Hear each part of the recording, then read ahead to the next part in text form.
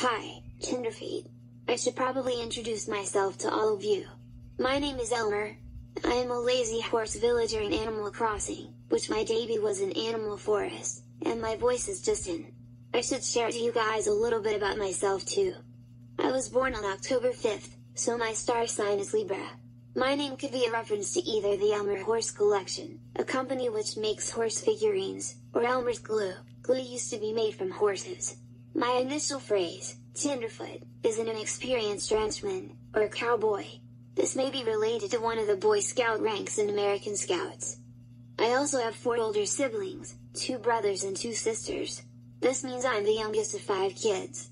My skill is playing old maid, and my goal is to be a police officer. And before I forget, my favorite saying is, The horse doesn't pull the cart, the oats do. Anyway, that is all I have to say for now, because it's now snack time for me. I hope you like my look and Vyond. Well, this is Elmer, signing off.